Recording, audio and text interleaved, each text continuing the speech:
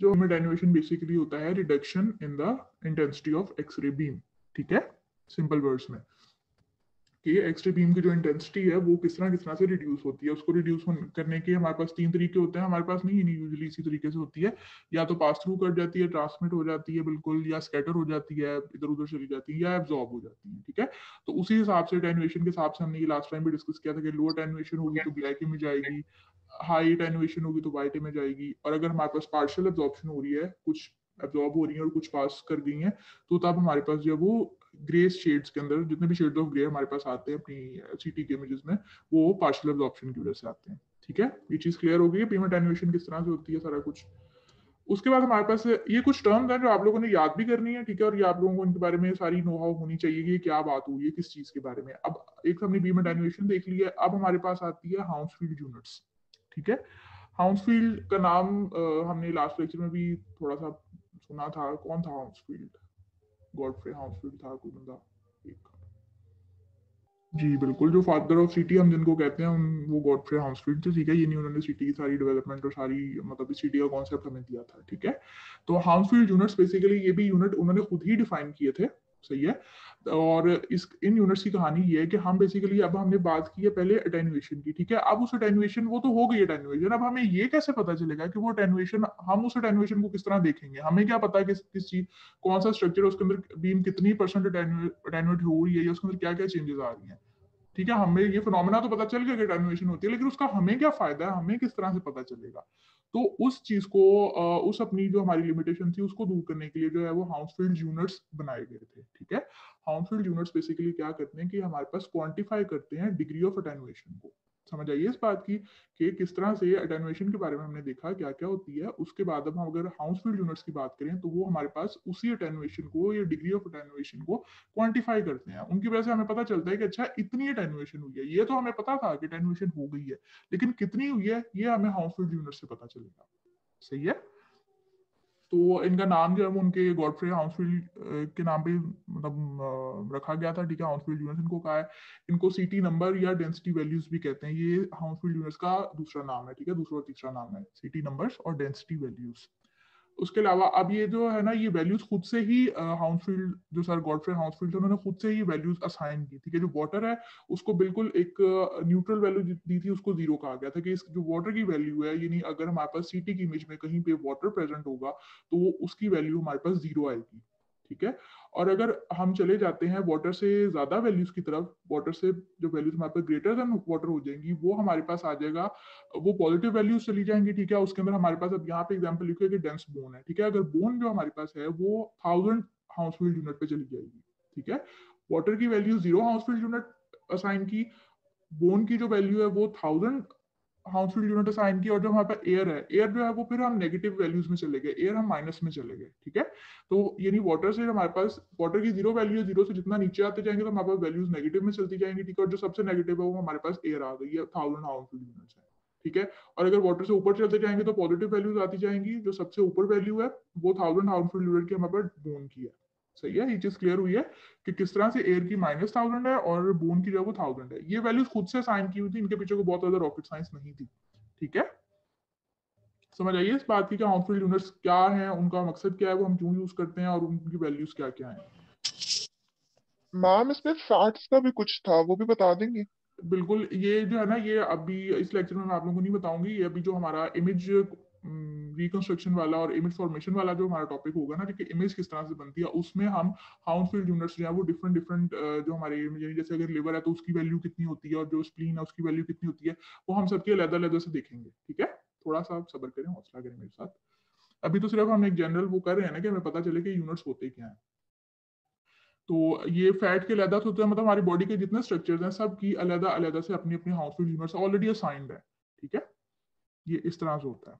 उसके बाद the Hounsfield unit की एग्जांपल इस तरह से दी हुई थी कि अगर हमारे पास किडनी के अंदर हमारे पास कोई सर्कुलर सा एरिया है, ठीक है डार्क एरिया है, जब हमने उसकी डेंसिटी रीडिंग ली डेंसिटी रीडिंग बेसिकली ऐसे लेते हैं कि जो है ना सारे सिटीज़ के अंदर ऑलरेडी ये प्रोटोकॉल होता है कि आप, जब आपने कोई सिटी की इमेज लिया है, जब सिटी का, उसमें जब आप अपना माउस का कर्सर लेकर जाते हो ना, उस एरिया के ऊपर, किसी भी स्पेसिफिक एरिया के ऊपर तो वहाँ पे उसका हाउसफुल जो है, वो शो होना शुरू हो जाता है, ठीक है?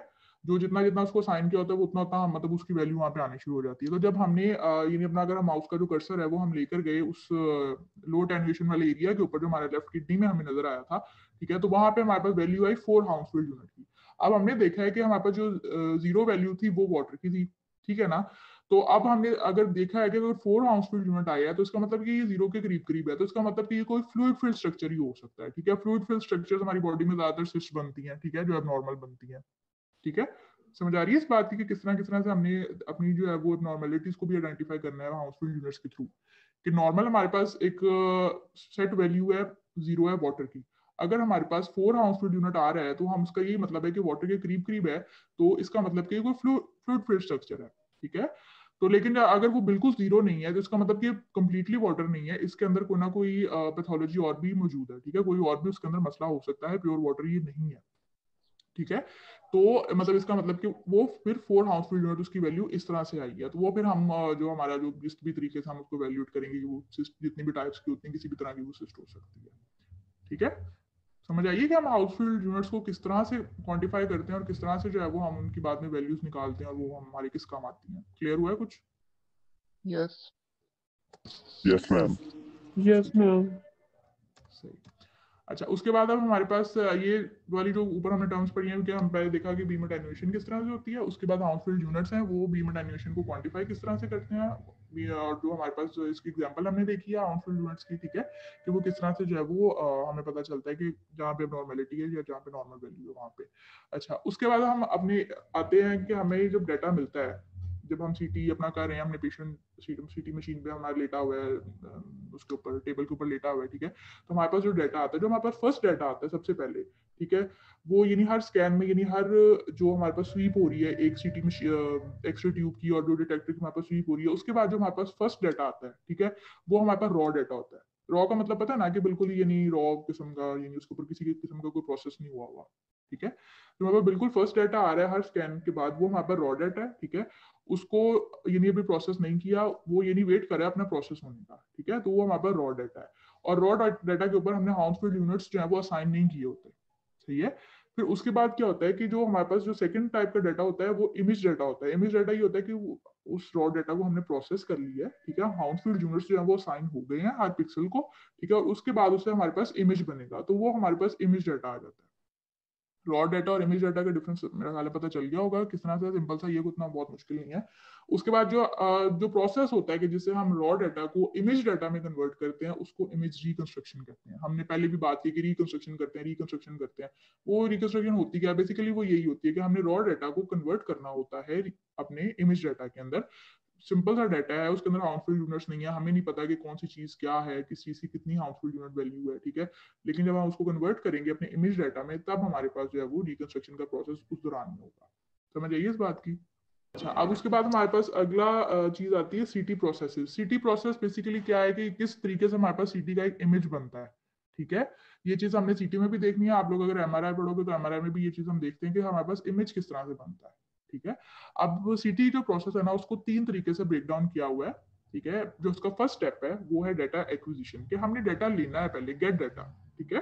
डाटा एक्विजिशन हमारे पास फ़र्स्ट टॉपिक है, उसके बाद हमारे पास अगला जो टॉपिक आता है, वो आता है इमेज रिकंस्ट्रक्शन का, कि हमने उस डाटा जो हमने ले लिया, अब हमने उसको यूज़ किस तरह से करना है, ठीक है? और उसके बाद थर्ड हमारे पास आता है इमेज डिस्प्ले यानी डिस्प्ले डाटा समझ आइए इस बात की कि किस तरह से सीटी प्रोसेस को हमने तीन सेगमेंट्स में ब्रेक डाउन किया है। पहला हमारे पास है गेट डाटा दूसरा हमारे पास है यूज़ डाटा और तीसरा है डिस्प्ले डाटा पहले डाटा एक्विजिशन है फिर डाटा की हमारे पास इमेज रिकंस्ट्रक्शन है और थर्ड पे हमारे पास जो थर्ड हमारा जो लास्ट एक तरह से स्टेप आता है वो है कि इमेज डिस्प्ले का। अब हमने इमेज ले तो लिया सारा डाटा अब हमें उस इमेज को दिखाना है किस तरह से। समझ आइए इस बात की? सीटी प्रोसेस किस तरह से होता है? Yes, yes, अच्छा अब हमारे पास जो आज का जो हमारा बेसिकली जो एक मेजर टॉपिक है, वो है डाटा एक्विजिशन जो हमने पढ़ना है। डाटा एक्विजिशन बेसिकली होती क्या डाटा एक्विजिशन नाम से पता चल रहा है कि हमने डाटा एक्वायर करना है, ठीक है? एक्वायर हम किस तरह से करते हैं? जब एक्सरे जो है, वो किसी भी पेशेंट से पास करती हैं डिटेक्टर पे जाकर स्ट्राइक करती हैं, उसके बाद हमारे पास जो डाटा आता है, वो हमारे पास डाटा एक्विजिशन कहलाती है, ठीक है? एक्विजिशन का मतलब यही होता है कि कोई चीज़ एक्वायर करना, ठीक है? तो हमारे पास जो है, वो जो मेजर कंपोनेंट्स है, जो हमारे पास डाटा एक्विजिशन में हेल्प करते हैं मतलब सारा काम ही नहीं हमारे पास उन्हीं इन्हीं चीज़ों का है। वो हमारे पास गेंट्री है और हमारे पास पेशेंट टेबल है। गेंट्री पता है क्या होती है? ठीक है गेंट्री जो वो एक, अगर सीटी की मशीन तो मेरे ख्याल है देखी होगी पिक्चर्स में भी कहीं ना कहीं देखी होगी, वो जो गोल सा एक दायरा सा हमें नज़र आता है, वो उसकी गेंट्री होती है। ठीक है? और उसके नीचे जहाँ पे पेशेंट लेटता है, वो हमारे पास पेशेंट टेबल है। ये दो चीज़ें हमारे पास जो है, वो इन्वॉल्व होती हैं डेटा एक्विजिशन में। यानी इन दो चीज़ों से या इन दो, ये मशीनरी के पार्ट्स हैं यानी इनसे हमने डाटा लेना है अपना डाटा कलेक्ट करना है, ठीक है? गेंट्री की बात करें गेंट्री क्या होती है कि हमारे पास रिंग शेप पार्ट है सिटी स्कैनर का वही बात हो गई, गोल सा एरिया होता है। उसका अपर्चर साइज़ होता है सेवेंटी टू नाइनटी सेंटीमीटर ये वाली छोटी छोटी चीज़ें ये थोड़ा सा एमसीक्यूज के पॉइंट ऑफ़ व्यू से इंपॉर्टेंट है, ठीक है? वैसे भी पता होनी चाहिए। अपर्चर बेसिकली वो जो एक पूरा जो डोनट शेप है, जो डोनट डोनट का अंदर वाला गोला होता है, ठीक है? जिसके अंदर हम हमारे पेशेंट ने जाना है। ठीक है? पेशेंट टेबल ने मूव करना है पेशेंट ने अंदर जाना है, वहाँ से फिर उसने मतलब पेशेंट टेबल मूव करता है, अंदर जाता है, बाहर आता है, ठीक है? तो वो हमारे पास जो एरिया है, जो पर्चर साइज़ है, जो ओपनिंग का साइज़ है हमारे पास, वो सेवेंटी टू नाइनटी सेंटीमीटर है। सही है? उसके अलावा हमारे पास जो है, वो गेंट्री में और हमारे पास क्या होता है, इसमें लेजर लाइट्स लगी होती हैं। सिटी की मशीन जिन बच्चों ने देखी हुई है, उनको आइडिया होगा कि लेजर लाइट्स होती हैं, ठीक है? उनकी वो हम, उनको कंट्रोल कर सकते हैं, उनको ऑन ऑफ़ कर सकते हैं। वो लेजर लाइट बेसिकली जो है ना, वो पेशेंट पोजिशनिंग के लिए इंपॉर्टेंट होती है। अब जब हम सीटी के प्रोटोकॉल्स पढ़ेंगे तो हम देखेंगे कि हमने अपनी जो लेजर लाइट है उसको बेसिकली सेंटर करना होता है ठीक है? अब हर डिफरेंट रीजन का सेंटर सेंटरिंग पॉइंट जो वो डिफरेंट है। जैसे एक्सरे में हम सेंटरिंग पॉइंट नहीं रखते होते सेंट्रल पॉइंट एक रखते होते हैं अपनी एक्सरे ट्यूब का। यस मैम Yes, देखा होगा शायद तो इस तरह सीटी के अंदर भी ऐसी लेजर लाइट का यही फ़ंक्शन है कि वो पोजीशन करते हैं पेशेंट को ठीक है? फिर हमारे पास कंट्रोल पैनल है यानी जो सीटी का वो जो गेंट्री होती है, वो जो गोल दायरा होता है, उसके दोनों साइड्स के ऊपर ना बटन होते हैं, कुछ कंट्रोल होते हैं, वो वो बटन का क्या काम है कि उनसे हम एक तो लाइट को ऑन ऑफ़ करते हैं, ठीक है? और ये जो लेजर लाइट होती है इसको। और दूसरा हमारे पास क्या काम है कि हम पेशेंट टेबल को मूव करवाते हैं ऊपर नीचे, ठीक है? जिस तरह यानी हमने पेशेंट अगर जब बैठने लगा है तो हमने उसको थोड़ा सा नीचे कर देना है, ठीक है? ताकि पेशेंट इजीली कंफर्टेबली उस पर बैठ जाए, लेट जाए, फिर हमने उसको ऊपर कर देना है, जब यानी गेंट्री के अंदर उसने मूव करना है, ठीक है? और इसके अलावा इसमें माइक्रोफोन होता है। माइक्रोफोन का ये काम है, अगर सीटी का प्रोसेस किसी किसी भी बच्चे ने देखा हो तो उसको आइडिया हो कि माइक्रोफोन किस लिए होते हैं, कि ये कम्युनिकेशन के लिए होते हैं, ठीक है? जो टेक्नोलॉजिस्ट बैठा होता है और जो पेशेंट अंदर होता है उनके कम्युनिकेशन के लिए पेशेंट किसी भी वजह से अगर कोई अनकंफर्टेबल फील करे अगर उसको कंट्रास्ट दिया उसकी वजह से उसको कोई मसला हो रहा है या कुछ है तो पेशेंट यानी कम्युनिकेट कर सकता है माइक्रोफोन के थ्रू ये सारी चीज़ें गेंट्री के अंदर होती है। और ब्रीथिंग के लिए भी। हाँ वो ब्रीदिंग इंस्ट्रक्शंस जो देनी होती हैं जिस भी जो भी हम अपना कर रहे होंगे जिस जो भी प्रोटोकॉल फॉलो कर रहे होंगे उसमें जो जो इंस्ट्रक्शंस देनी होती है पेशेंट को। बाद का होता है पेशेंट लेटता है अनकंफर्टेबल होता है हिलना शुरू कर देता है उसको आपने ये कहना है कि आपने हिलना नहीं है। इस तरह की चीज़ें जो है ना इंस्ट्रक्शन बेसिकली जो देना होता है कम्युनिकेशन जो जिस भी टाइप का कम्युनिकेशन है उसके लिए हमारे पास माइक्रोफोन होता है। ठीक है? चीज़ें क्लियर हुई हैं, किस तरह किस तरह से छोटी छोटी बातें हैं कितनी बहुत ज़्यादा बड़ी नहीं है। ये चीज़ें थी जो हमें, यानी समझो बाहर से नज़र आ रही है गेंट्री के, ठीक है? यानी हमें अपर्चर साइज़ पता चल रहा है, हमें लेजर लाइट हमें बाहरी मतलब नज़र आ रही है कंट्रोल पैनल्स भी हमें नज़र आ रहा है माइक्रोफोन भी हमें पता है कि किस तरह है, ठीक है? अब हमारे पास आते हैं कंपोनेंट्स ऑफ़ गेंट्री यानी गेंट्री की जो अंदर की चीज़ें वो क्या है, ठीक है? अब इसके अंदर जो छोटी सी लिस्ट है ना, ये सारी चीज़ें गेंट्री के अंदर लगी हुई हैं। इसमें हमारे पास स्लिप रिंग्स हैं, ये हम देखते हैं क्या होते हैं, ठीक है? जनरेटर है जनरेटर का क्या काम है? जनरेटर का क्या काम है? वैसे एक्सरे ट्यूब में भी पड़ा हुआ है जनरेटर क्या होता है? जो घरों के जनरेटर होते हैं वो क्या करते हैं? वो फॉर्म करता है। हाँ वोल्टेज वोल्टेज प्रोवाइड करते हैं ठीक है? उन्होंने एक्सरे ट्यूब को वोल्टेज प्रोवाइड करनी होती है ठीक है? उसके बाद कूलिंग सिस्टम है। कूलिंग सिस्टम अपने नाम से पता चल रहा है इसका क्या काम हो सकता है कि जो जो सारी बातें मशीनरी या मूव करती है हीटअप हो जाती है उसको ठंडा रखने के लिए कूलिंग सिस्टम होते हैं ठीक है? एक्सरे सोर्स है एक्सरे सोर्स हमारे पास क्या है? इसमें एक्सरे ट्यूब है। ठीक है एक्सरे ट्यूब जिस जिस तरह भी, जिस तरह की भी है मूव कर रही है, नहीं कर रही स्टेशनरी है, जो भी है, वो एक्सरे सोर्स है, ठीक है। फिल्ट्रेशन हम इसमें यूज़ करते हैं सिटी के अंदर। सिटी के अंदर हम कॉलीमीटर्स यूज़ करते हैं, ठीक है। और डिटेक्टर्स हैं इसमें, और हमारे पास डिटेक्टर इलेक्ट्रॉनिक्स है। ये सारी चीज़ें अब हम स्टेप बाय स्टेप देखते हैं। छोटी छोटी हैं, वो बहुत लंबी नहीं है, परेशान ना होना। अच्छा अब हमारे पास ये काफ़ी एक इंपॉर्टेंट सा पॉइंट है कि स्लिप रिंग टेक्नोलॉजी क्या चीज़ है। स्लिप रिंग टेक्नोलॉजी इस तरह है कि जो हमारे पास पुराने सीटी थे ना, ये समझ लो 1990 से पहले वाले 1990 से जो पहले वाले सीटी थे, वो उन सीटी के अंदर हमारे पास मेथड ये था कि वो उसको कहते थे स्टेप एंड शूट मेथड ठीक है? यानी उसमें कॉन्टिन्यूसली मूवमेंट नहीं होती थी डिटेक्टर्स की और एक्सरे ट्यूब की। होता था कि एक्सरे ट्यूब है, वो एक दफ़ा मूव किया है सिग्नल आया है, फिर रुक गई है, फिर अपनी पोजीशन पे वापस गई है फिर जो है वो दोबारा से यानी अगला उसका प्रोसेस अगला उसका स्वीप स्टार्ट हुआ, वो दोबारा से एक्सरे ट्यूब ने मूव किया डिटेक्टर्स ने मूव किया, फिर उन्होंने एक स्कैन किया, ठीक है? फिर वो अपनी जगह पे वापस की है। यानी ये काफ़ी ज़्यादा टाइम लगता था इस चीज़ में, ठीक है? यानी उसको स्टेप एंड शूट कहते थे कि स्टेप कर रही है, ठीक है? एक मतलब नाम से पता चल रहा है कि एक एक स्टेप में जो है वो स्टेप एंड शूट यानी वो एक एक शूट बेसिकली स्कैन की बात हो रही है, ठीक है? कि स्कैन कर रही है। ठीक है वो पुराने जमाने का जो हमारे पास मेथड होता था वो स्टेप एंड शूट मेथड था। इसमें ये हमारे पास क्या होता था कि ये क्यों होता था? इसमें एक, एक तो केबल्स बहुत ज़्यादा होती थी। सारी बात है अब टेक्नोलॉजी जैसे जैसे एडवांस होती जा रही है अब हमारे पास ये नहीं चीज़ें उतनी ज़्यादा कॉम्पैक्ट होती जा रही है। पहले केबल्स होती थी चीज़ें फंस जाती थी मतलब काफ़ी मसले होते थे। लिटरली होता था कि केबल्स फंस जाती थी मशीन भी रुक जाती होती थी। इस तरह होता था। तो बहुत पुरानी वाली मशीन थी उनके अंदर ठीक है? लेकिन उसके बाद इस चीज़ को काउंटर करने के लिए हमारे पास हेलिकल टेक्नोलॉजी आई ठीक है? और हेलिकल टेक्नोलॉजी हमारे पास किस तरह से हम उसको यूज़ करते हैं वो स्लिप रिंग टेक्नोलॉजी है। स्लिप रिंग बेसिकली क्या होते हैं? कि हमारे पास है कि करंट सिस्टम जो हमारे पास वो यूज़ करते हैं इलेक्ट्रो इलेक्ट्रोमैकेनिकल डिवाइसेज है, उनको कहते हैं स्लिप रिंग्स स्पेसिफाइड एक डिवाइसेस होती हैं हमारे पास, ठीक है?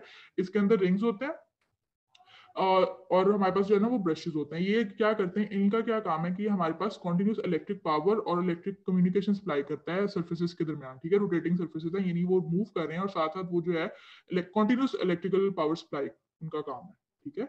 यानी अगर हम स्टेप एंड शूट की बात करें तो उसके बीच में कॉन्टिन्यूस पावर सप्लाई नहीं होती थी वो एक दफ़ा जाता था रुक जाता था फिर दोबारा से प्रोसेस स्टार्ट होता था। लेकिन जो अब दूसरा सिस्टम जो लेटेस्ट सिस्टम का है उनके अंदर हुआ कि कॉन्टिन्यूस पावर सप्लाई है कॉन्टिन्यूसली मूवमेंट हो रही है ठीक है? एक्सरे ट्यूब की भी और डिटेक्टर्स की भी ठीक है? और हेलिकल सिटी जो है वो इसी की इसी टेक्नोलॉजी की बेस के ऊपर बना था। इसी टेक्नोलॉजी की वजह से जो है वो आ, हमारे पास हेलिकल सिटी जो है वो हुआ और यानी हमने उसको प्रॉपर तरीके से देखा कि भी किस तरह किस तरह से वहाँ पर ये यूजफुल है। ठीक है? और इसे हमारे पास होता है कि गेंट्री रोटेट करती है कॉन्टिन्यूसली विदाउट इंटरप्शन पहले मैंने बताया कि उसमें इंटरप्शन हो जाती थी कि जो वायर्स वगैरह थी वो काफ़ी तंग करती थी केबल्स वगैरह भी ठीक है? लेकिन हेलिकल सिटी और ये स्लिप रिंग टेक्नोलॉजी की वजह से जो है हमारे पास वो लिमिटेशन भी खत्म हो गई ठीक है? Uh, सारी बातें वही लिखी हुई है कि पहला जो हमारे पास मेथड था वो स्टेप एंड शूट था और अब हमारे पास जो है वो ये स्लिप रिंग टेक्नोलॉजी इस तरह से है। अच्छा इसके जो ब्रशेज होते हैं वो हमारे पास कंडक्टिव मटेरियल के बने होते हैं। सारी बात है उस, उसका काम ही है कि उसने इलेक्ट्रिसिटी को कंडक्ट करना है ठीक है? तो वो कंडक्टिव मटेरियल है वो सिल्वर ग्रेफाइट अलॉय हो सकते हैं ठीक है? और ये स्लाइडिंग कॉन्टेक्ट है। ये यानी इसके, इसकी मूवमेंट इस तरह से होती है कि ये हमारे पास रोटेटिंग सरफेस के दरमियान जो है वो इलेक्ट्रिकल पावर सप्लाई कंटिन्यूस रखता है। ये स्लिपरिंग टेक्नोलॉजी की छोटी सी कहानी है कुछ खास नहीं है, ठीक है? लेकिन उसको ये नहीं पता होना चाहिए कि जो पुराने जमाने में था, वो मेथड किस तरह से हमारे हमारे पास डिफरेंट था, जो नया मेथड हम हेलिकल सिटी यूज़ करते हैं, उसके अंदर जो है वो टेक्नोलॉजी हमारे पास किस तरह से है। अब हमारे पास अच्छा ठीक है, अब हमारे पास जो अगला अगली चीज़ आती है वो जनरेटर और कूलिंग सिस्टम आते हैं। जनरेटर का क्या काम है? हाई फ्रिक्वेंसी जनरेटर हैं, इन्होंने वोल्टेज प्रोवाइड करना है। वोल्टेज जो है वो क्या करेगा? हम एक्सरे ट्यूब को वोल्टेज देते हैं। जब वोल्टेज देते हैं तो वो कैथोड एनोड वाली पूरी कहानी होती है। एक्सरे वो फोटोन निकलते हैं, सारा कुछ होता है, ठीक है? उनका काम क्या है कि जो इनिशियल वोल्टेज है हमारे पास वो जनरेटर ने प्रोवाइड करनी है, ठीक है? और उसके अलावा सीटी के अंदर हमारे पास जो केवी सेटिंग है, वो हाई होती है। केवीपी और एमएस का पता है ना? अच्छा हमारे पास जो सी है उसके अंदर हम हाई के वी यूज़ करते हैं। हाई के इसलिए हम यूज़ करते हैं कि हमारे पास जो एक्सरे ट्यूब है उसके ऊपर हीट लोड कम हो जाता है अगर हम हाई के वी यूज़ करते हैं। क्योंकि हाई के वी यूज़ करेंगे तो इवेंचुअली हम जो है वो एमएस उससे लो यूज़ करेंगे। ये चीज़ पता ना कि किस तरह से जो है ये चीज़ें आपस में रिलेट करती हैं। ये मेरे ख्याल है वैसे एक्सरेज में पढ़ा होगा ठीक है? कि अगर हम हाई के वी यूज़ करते हैं तो हमने एम उस हिसाब से लो रखना होता है। और अगर हम एम एस इंक्रीज करें तो केवीपी हमने उसके हिसाब से लो रखना होता है। अच्छा अब हमारे पास जो है वो कूलिंग सिस्टम आते हैं ठीक है? कूलिंग सिस्टम का मैंने पहले बताया कि इसका क्या काम है उसमें ठंडा रखना है मशीन को ठीक है? मशीन है मूव कर रही है हीटअप हो रही है उसका काम उसमें ठंडा रखना है ठीक है? To avoid the temperature fluctuation ठीक है? डिफरेंट तरह से हम कूलिंग सिस्टम हम यूज़ कर सकते हैं इसमें ब्लोअर्स होते हैं फिल्टर्स होते हैं। कुछ ऐसी डिवाइसेस भी होती हैं जो oil to air heat exchange करती हैं ठीक है? अब ये इतनी डिवाइसेस किस तरह की होती हैं उनका क्या काम है क्या वो हमारे हमारे काम की चीज़ नहीं हमने मशीन को खोल के नहीं देखना ठीक है? जो हमें बस इतना पता तो होना चाहिए कि कूलिंग सिस्टम्स होते हैं उनका फ़ंक्शन क्या है और वो किस किस तरह के हो सकते हैं ठीक है? इतना काफ़ी है। अच्छा उसके बाद हमारे उसके बाद हमारे पास चीज़ आती है कि एक्सरे सोर्स और फिल्ट्रेशन ठीक है? एक्सरे सोर्स हमारे पास एक्सरे ट्यूब है ठीक है? एक्सरे प्रोडक्शन है, किस तरह से हो रहा है? आप मुझे ये बताओ कि आप लोगों में से किस किस बच्चे को, ये नहीं मुझे बताओ कि मेजोरिटी को ये चीज़ पता है कि एक्सरे प्रोड्यूस किस तरह होती है? जो एक्सरे ट्यूब की एक कहानी है, कि वो किस तरह से होती है? कोई आइडिया किसी को? कि किस तरह जो है वो एनोड कैथोड वाली कहानी है और किस तरह से एक्सरेज निकल रहे हैं और क्या है सारा कुछ। हम अब अच्छा एक्सरे प्रोडक्शन एक्सरे सोर्स चाहिए नहीं हमारे पास, इसमें वो सिंपल वाली एक्सरे ट्यूब है जो एक्सरेज में हम यूज़ करते हैं रेडियोग्राफी में यूज़ करते हैं, ठीक है, उसका काम भी वही है। इसमें सिर्फ़ हमारे पास थोड़ा सा डिफरेंट आता है डिफरेंस आता है कि इसमें हमारे पास टू फोकल स्पॉट्स होते हैं, एक पॉइंट फाइव एम का और वन एम का। फोकल स्पॉट्स के बारे में अगर जिसने एक्सरे ट्यूब पढ़ी है तो उसको फोकल स्पॉट का भी पता होगा कि वो क्या होते हैं। सिटी के अंदर जो है ना, वो हमारे पास स्मॉलर फोकल स्पॉट्स होते हैं, ठीक है? और अगर ये जब सिंपल सी बात है कि अगर जितना हमारे पास छोटा अपर्चर होगा, छोटे फोकल स्पॉट्स होंगे तो उतनी ज़्यादा हमारे पास शार्प इमेज प्रोड्यूस करेंगे, ठीक है? तो जितनी ज़्यादा शार्प इमेज होगी तो उतनी ज़्यादा हमारे पास स्पेशल रेजोल्यूशन जो है वो बेहतर होगी। स्पेशल रेजोल्यूशन का आइडिया है ये क्या चीज़ होती है?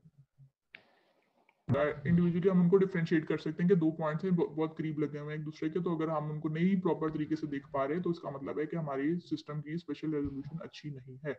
इसी तरह एक कंट्रास्ट रेजोल्यूशन होती है, उसका पता है क्या होती है? कंट्रास्ट रेजोल्यूशन यही होती है कि जो डेंसिटी डिफरेंस की वजह से हमारे पास जो जो उनका इमेज बनता है, जो ग्रे स्केल इमेज होता है, उसमें हम डिफ्रेंशिएट कर पा रहे हैं बेहतर तरीके से कि कौन सी चीज़ हमें किस तरह से नज़र आ रही है, ठीक है? ये हमारे पास एक्सरे चलो ये तो एक एक्स्ट्रा बात हो गई थी एक्सरे सोर्स की हम बात करें सोर्स में हमारे पास एक्सरे प्रोडक्शन का फिनोमेना आ जाता है, ठीक है एक्सरे प्रोडक्शन में एक्सरे ट्यूब की कहानी आ जाती है, जो हमारे पास इसमें इंपॉर्टेंट चीज़ है सीटी की मशीन में, वो हमारे पास फोकल स्पॉट्स हैं, ठीक है फोकल स्पॉट्स छोटे छोटे हैं, दो हैं, और वो किस लिए हैं? To produce the sharper image sharper image हमें क्यों चाहिए? बेटर स्पेशल रेजोल्यूशन के लिए, ठीक है? अच्छा उसके बाद हमारे पास अगली जो चीज़ आती है, वो फिल्ट्रेशन आती है, जो सीटी की मशीन है, जो सीटी की गेंट्री है, उसके अंदर हमारे पास जो है, वो फिल्ट्रेशन होती हैं। ठीक है? फिल्ट्रेशन का क्या काम है? ये इनके तीन चार फ़ंक्शन लिखे हुए हैं कि ये एक्सरे बीम को शेप करती हैं, ठीक है? ये यूनिफॉर्म एक्सरे बीम बनाती हैं पेशेंट डोज को कम करती हैं, किस तरह से कम करती हैं? स्कैटर रेडिएशन को कम करी यानी फ़िल्टर कर है ना, नाम से पता चल रहा है फिल्ट्रेशन है, ठीक है? तो ये हमारे पास इनका फ़ंक्शन क्या है कि स्कैटर रेडिएशन को कम करिए स्कैटर रेडिएशन जो है वो हमारे पास मतलब इस लिहाज तंग करती है कि पेशेंट डोज को इंक्रीज करती है, ठीक है? तो अगर हम फिल्ट्रेशन लगा देंगे अपनी एक्सरे बीम के अंदर तो जो छोटी छोटी मोटी एक्सरेज आएँगी, जिनकी एनर्जी कम है, जिनका कोई फ़ायदा नहीं है, जिन्होंने स्कैटर हो जाना इवेंचुअली ठीक है? यानी जिन्होंने ना पास करना, ना कुछ है, वो हमारे पास फिल्ट्रेशन से साफ़ हो जाती है, ठीक है? उसके बाद हमारे पास ये कि जो ज़ाहिर बात साफ़ हो जाएँगी जो एक्स्ट्रा रेडिएशन होती हैं स्कैटर रेडिएशन होती हैं, इनकी वजह से हमारे पास जो है वो आर्टिफैक्ट्स भी आते हैं, ठीक है? आर्टिफैक्ट्स जो है ज़ाहिर बात है हम उनको फ़िल्टर कर देंगे तो आर्टिफैक्ट्स नहीं आएँगे इमेज क्वालिटी हमारे पास काफ़ी बेहतर हो जाएगी। ये चीज़ें सिर्फ़ फिल्ट्रेशन के तीन चार फ़ायदे हैं ये हम क्यों यूज़ करते हैं। इसके अलावा फिल्टर्स की अगर याद हो तो हमने पिछले लेक्चर में जनरेशन में देखा था कि हम किसी एक जनरेशन में बोट आई फिल्टर्स यूज़ कर रहे थे। ठीक है? क्या काम था? उनके बारे में मैंने बताया था कि जैसे हमारी बॉडी की एक शेप होती है, यानी बीच में से थिक होती है और साइडों पे जो पेरीफ्री है हमारी, वो थिन हो जाती है, ठीक है? तो यानी हमारे पास, हमें एक होमोजेनस चाहिए अपनी जो एक्सरे बीम है, ठीक है? यानी यूनिफॉर्म चाहिए सारी साइड तो उसके लिए हम बोट आई फिल्टर्स लगाते हैं कि बोट आई फ़िल्टर की शेप भी बोट आई की तरह होती है। दरमियान में से थिन होगा साइडों से थिक होगा तो यानी हमारी पेरीफ्री के ऊपर भी वो एक ही तरह की एक्सरे की इंटेंसिटी रखेगा, ठीक है? बोट आई फिल्टर्स का ये काम है। तो ये हमने फिल्ट्रेशन देख ली एक्सरे सोर्स हमने देख लिया, उसके बाद अगली चीज़ हमारे पास आती है कॉलिमेशन अच्छा जो एक्सरे की जो एक्सरे ट्यूब है, जो एक्सरे मशीन है रेडियोग्राफी वाली, उसकी कॉलिमेशन में और जो हमारे पास सीटी की कॉलिमेशन है, उसमें बहुत ज़्यादा फ़र्क है। और सीटी का हमारे पास जो एक मेजर एडवांटेज जिसको कहते हैं कि भाई हम एक्सरे यूज़ करने हैं हमने तो हम उसके ऊपर ही ठीक है एक्सरे के ऊपर ही ठीक है, हम सीटी क्यों कर रहे हैं? ठीक है तो चलो वो थ्री डायमेंशनल वाली बात अपनी जगह पे सही है। लेकिन फिर ये जहाँ पे ये बात आ जाती है कि भाई सिटी में जो है वो डोज एक्सरे से बहुत ज़्यादा हो जाती है तो हम, हमारे लिए तो बड़े नुकसानदेह है कि हम क्यों यूज़ कर रहे हैं, ठीक है? तो यहाँ पे फिर हमारे पास जो गेम आती है ना, वो आती है कॉलिमेशन की। जो सीटी की कॉलिमेशन है वो बड़ी बेहतरीन किस्म की है, ठीक है? उन कॉलिमेशन का हमारे पास क्या काम है? कॉलिमेशन हमने अब सिर्फ़ अपना जो हमारा फ़ील्ड ऑफ़ व्यू है या जो हमारा एरिया सिर्फ़ हमने उसी को देखना होता है, हम आसपास वाले एरिया को एक्सक्लूड कर ठीक है? फिर जब हमारे पास इमेज बनता है तो उसमें भी यानी जिस जगह से हमने कॉलिमेशन की होगी, वो जगह की इमेज ही नहीं आ रही होती, ठीक है? वो बहुत गंदी मशीन है, उनके ऊपर आ भी रही होती है, लेकिन जो लेटेस्ट मशीन है, उनके ऊपर जिस एरिया को आपने एक्सक्लूड कर दिया ना अपनी कॉलिमेशन से, यानी वो एरिया बाहर है कॉलिमेशन से, उसका इमेज ही नहीं बनता, ठीक है? वो जो पुराने जमाने की मशीन है, उनके ऊपर बनता है। मेरा ख्याल है सुरैया थी वाली पे तो बन जाता होगा। हम कॉलिमेशन देखते हैं। कॉलीमेटर्स का क्या काम है एक्सरे बीम को रिड्यूस करते हैं, ठीक है? स्केटर रेडिएशन को भी कम करते हैं, ठीक है? स्केटर रेडिएशन हमारे पास इमेज क्वालिटी को खराब कर दिया है, ठीक है? और हमारे पास जो है वो रेडिएशन डोज को इंक्रीज करती है। कॉलीमेटर्स लगा देंगे तो हमारे पास रेडिएशन डोज भी कम हो जाएगी इमेज क्वालिटी भी बेहतर हो जाएगी, ठीक है? कॉलीमेटर्स हमारे पास जो है वो स्लाइस थिकनेस को भी कंट्रोल करते हैं बाय नैरोइंग और वाइडनिंग द एक्सरे बीम ठीक है? यानी कॉलीमेटर जो है, इस लाइन की समझ आइए कि किस तरह से हम एक्सरे बीम को या तो वो नैरो कर देते हैं या वाइड कर देते हैं। उसकी वजह से हम स्लाइस थिकनेस को भी कंट्रोल करते हैं। स्लाइस थिकनेस को हम इनके थ्रू कैसे कंट्रोल करते हैं? और इसके बाद कॉलीमेशन के बाद हमारे पास इमेज किस तरह से बनता है, ये हम अपनी इमेज जो इमेज रिकंस्ट्रक्शन वाला जो टॉपिक है ना, उसके अंदर सारी इसकी डिटेल देखेंगे। ठीक है? अभी यानी हम बेसिकली अभी हम हार्डवेयर टाइप चीज़ों के बारे में बात करें तो हम उसके ऊपर रहते हैं। फिर जब उस तरह से आएगा कि स्लाइस थिकनेस किस तरह से वेरी करती है कॉलीमेटर्स के थ्रू वो हम तब देखेंगे। अब कॉलीमीटर्स हमारे पास जो है ना, इसमें एक तो दो टाइप के कॉलीमीटर्स होते हैं, ठीक है? एक प्री पेशेंट होता है और एक पोस्ट पेशेंट होता है। सही है? और ये बड़ी मज़े की बात है क्योंकि ये और किसी जगह पे नहीं होते, सिर्फ़ सीटी की मशीन में होते हैं यानी एक्सरे वगैरह में नहीं होते। प्री पेशेंट है कि ये एक्सरे सोर्स के करीब लगा हुआ है पेशेंट से पहले लगा हुआ है, यानी पेशेंट तक एक्सरे पहुँचने से पहले कॉलीमीटर लगा हुआ है, वो प्री पेशेंट कॉलीमीटर है, ठीक है? इसका क्या काम है कि ये पेशेंट डोज को इफ़ेक्ट करता है, उसको कम करता है और डिटरमिन करता है कि कितनी ज़्यादा डोज जो है वो हमें एक स्लाइस थिकनेस के ऊपर कितनी ज़्यादा डोज जो है वो डिस्ट्रीब्यूट होनी चाहिए, ठीक है? इस सारे प्रोसेस को डोज प्रोफ़ाइल कहते हैं। अगर कोई आपसे इस तरह की बात करे या कभी ऐसी टर्म सुनो कि डोज प्रोफाइलिंग होती है सीटी में तो उसका क्या मतलब है कि वो हमारे पास कॉलीमीटर करता है डोज प्रोफाइलिंग ठीक है? उसके बाद हमारे पास आते हैं प्री डिटेक्टर कॉलीमीटर्स यानी ये हमारे पास पेशेंट से नीचे होंगे यानी पेशेंट ऊपर ऊपर वाला तो हमने देख लिया ना कि वो प्री पेशेंट है पेशेंट से पहले है। तो उसके बाद हमारे पास पेशेंट के नीचे लगा हुआ और डिटेक्टर अरे से ऊपर लगा हुआ हमारे पास प्री डिटेक्टर कॉलीमीटर है, ठीक है? इसको पोस्ट पेशेंट भी कहते हैं। यानी पहला प्री पेशेंट है पेशेंट से पहले। अगला पोस्ट पेशेंट है पेशेंट के बाद भी लगा है कॉलीमीटर उसका क्या काम है कि हमारे पास करता है कि जो जो हमारे पास बीम है, वो डिटेक्टर में पूरे तरीके से एंटर हो रही है। जितनी विड्थ हमें चाहिए थी, उसी विड्थ के अकॉर्डिंग एंटर हो रही है और हमारे पास जो है वो इमेज क्वालिटी है, उसको मजीद बेहतर बनाता है। ठीक है? स्कैटर रेडिएशन से थोड़ी बहुत ऊपर से अगर बच के आ गई है तो उनको भी कम कर देता है जो हमारे पास पोस्ट पेशेंट होता है। तो यानी डिटेक्टर के ऊपर हमारे पास जो फिर एक्सरेस जाके लगती है वो बड़ी साफ़ सुथरी एक्सरेस होती है। ठीक है? समझ आइए इस बात की कॉलीमीटर्स दो होते हैं और इनका क्या काम है? मैम पोस्ट पेशेंट रिपीट कर दें। जो पोस्ट पेशेंट कॉलीमीटर है ना हमारे पास ये पेशेंट के नीचे लगा हुआ है। ठीक है यानी पेशेंट है गेंट्री के अंदर गया हुआ है। एक तो हम ऊपर से बात कर रहे हैं, ठीक है, कि वो एक्सरे ट्यूब के बाद लगा हुआ है यानी वो फिल्ट्रेशन के बाद उस तरह से लगा हुआ है, वो वहाँ पे कॉलीमेशन हमारे पास हो रही है, ठीक है? उसकी लोकेशन भी मैंने यहाँ पे लिखी हुई है कि located near the X ray source ये प्री पेशेंट है। जो पोस्ट पेशेंट है, उसकी लोकेशन क्या है? Located below the patient and above the detector array यानी डिटेक्टर के ऊपर ये लगा हुआ है और पेशेंट के बाद लगा हुआ है, ठीक है? कि यानी हमने एक्सरेज दे दी है। एक तो वो ऊपर से फ़िल्टर होकर आ रही है, ठीक है, ऊपर से कॉलीमेट होकर आ रही है स्कैटर रेडिएशन उसमें कम है। उसके बाद जो वो पेशेंट से टकराने के बाद हमारे पास जो एक्सरेज यानी जो हमारे पास इमेज प्रोड्यूसिंग एक्सरेज हैं, जब वो निकल रही हैं, वो भी आके दोबारा से कॉलीमेट हो रही है, ठीक है? कॉलीमेट होने के बाद वो जो है हमारे डिटेक्टर को लग रही है। डायरेक्ट डिटेक्टर के ऊपर नहीं जा रही है। पहले कॉलीमेट हो रही हैं, फिर डिटेक्टर के ऊपर जा रही हैं। और जब डिटेक्टर के ऊपर जाती हैं इतने दो दफ़ा कॉलीमेट होने के बाद तो यानी स्कैटर रेडिएशन बहुत ज़्यादा कम हो जाती है और पेशेंट डोज है वो बहुत ज़्यादा रिड्यूस हो जाती है सिर्फ़ इन दो कॉलीमेटर्स की वजह से। ठीक है? समझ आइए कि पोस्ट पेशेंट का क्या मतलब है कि कहाँ पे लगा हुआ है और वो उसका फ़ंक्शन क्या है? मैम चलो सही है। कॉलीमीटर्स हो गए। अब हम पर डिटेक्टर्स आते हैं। डिटेक्टर्स के बारे में मेरा ख्याल है कि आप लोगों ने आ, अगर किसी ने पढ़ा है तो मैं तो ख्याल भी खत्म हो जाते हैं। आप लोग जब आगे से कहते तो हमने सुना ही नहीं कभी कि जो है वो जिनॉन वाले होते हैं डिटेक्टर सॉलिड स्टेट डिटेक्टर्स होते हैं सिंटिलेशन डिटेक्टर्स होते हैं कभी। जो डिटेक्टर्स है हमारे पास उनका क्या काम है? नाम से पता चल रहा है, वो हमारे पास जो भी एक्सरेज अटेन्यूट होके, जो भी इमेज फॉर्मिंग एक्सरेज हैं, जो भी आ रही हैं, वो हमारे पास इंफॉर्मेशन कलेक्ट हमारे पास वो कहाँ पे होती है? डिटेक्टर्स के ऊपर होती है, ठीक है? अगर हमारे पास एक ही डिटेक्टर है तो उसको हम सिंगल डिटेक्टर कहेंगे या सिंगल एलिमेंट कहेंगे, ठीक है? लेकिन अगर हमारे पास मल्टीपल डिटेक्टर्स लगे हैं तो उसको हम डिटेक्टर अरे कहेंगे। डिटेक्टर अरे हमने कहाँ पे पढ़ी थी? जनरेशन में पढ़ी थी, याद होगा? थर्ड जनरेशन में फोर्थ जनरेशन में डिटेक्टर अरेज होती है सेकंड में भी होती है, ठीक है? यस मैम तो ये किसी भी शेप में हो सकती है आर्क शेप में हो सकती है, या रिंग शेप में हो सकती है। ये हमने देखी है शेप्स पिछली जब हमने जनरेशन पढ़ी है, उसमें हमने देखी है, ठीक है? फिर हमारे पास आते हैं डिटेक्टर्स दो टाइप के होते हैं, लेकिन हमारे पास जो हमारे यूज़ में है, जो हमारी मशीनों में अब चल रहे हैं, वो सॉलिड स्टेट डिटेक्टर्स इनको हम सिंटिलेशन डिटेक्टर्स कहते हैं। इनका क्या काम है? इनका फिनोमेना किस तरह से है? जो सिंपल वर्ड में हुआ है कि ये ये एक ऐसा क्रिस्टल यूज़ करते हैं कि जब उसके ऊपर एक्सरे फोटोन टकराता है तो वो एक लाइट प्रोड्यूस करता है, ठीक है? और फिर हमारे पास इसके अंदर एक फ़ोटो डायोड लगा होता है। फ़ोटो डायोड अपने नाम से क्या पता चल रहा है कि ये लाइट को डिटेक्ट करता है, ठीक है? वो जो है, उसी क्रिस्टल के साथ अटैच होता है। जब हमारे पास एक्सरे फोटोन आके उसे टकराता है तो वो जब लाइट प्रोड्यूस होती है तो वो उस लाइट एनर्जी को कन्वर्ट करता है इलेक्ट्रिकल एनर्जी में, यानी सिग्नल में। ठीक है?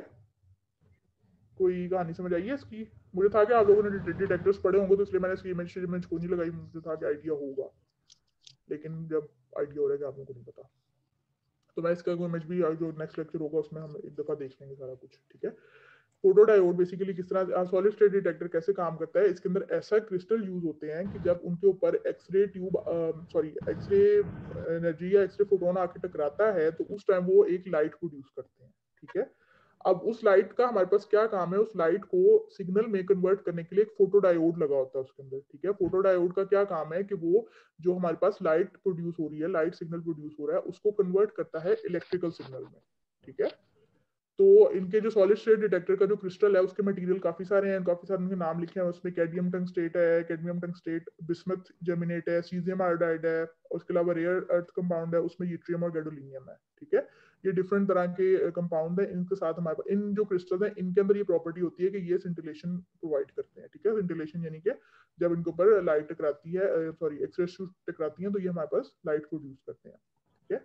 और इसका सॉलिड स्टेट डिटेक्टर हम क्यों यूज़ करते हैं इसके अंदर एब्जॉर्प्शन एफिशिएंसी काफ़ी ज़्यादा हाई होती है। यानी जितनी भी एक्सरेज आ रही हैं डिटेक्ट हो रही हैं इसके ऊपर ये उन सारी जो एक्सरेज है उनको सारी की सारी को एब्जॉर्ब कर लेता है ठीक है?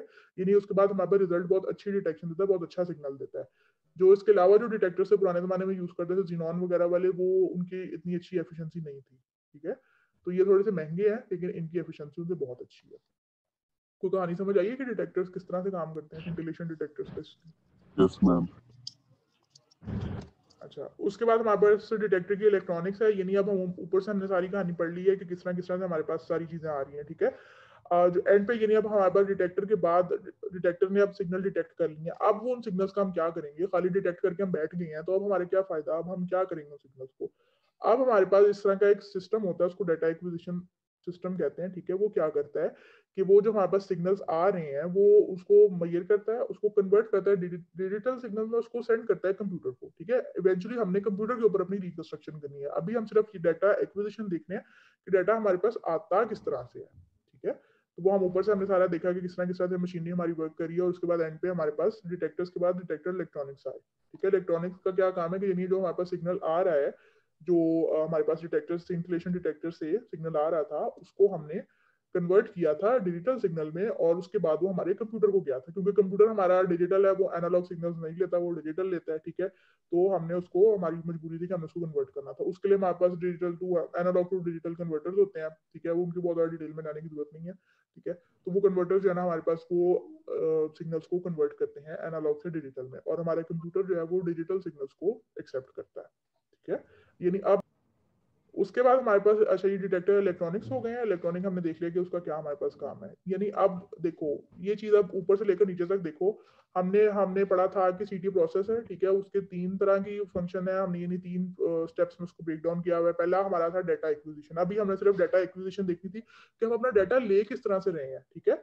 यानी हम बेसिकली एक हार्डवेयर देख रहे थे कि हमारे डाटा किस किस तरीके से रहा है। उसके बाद डाटा एक्विजिशन हमने गेंट्री की बात की।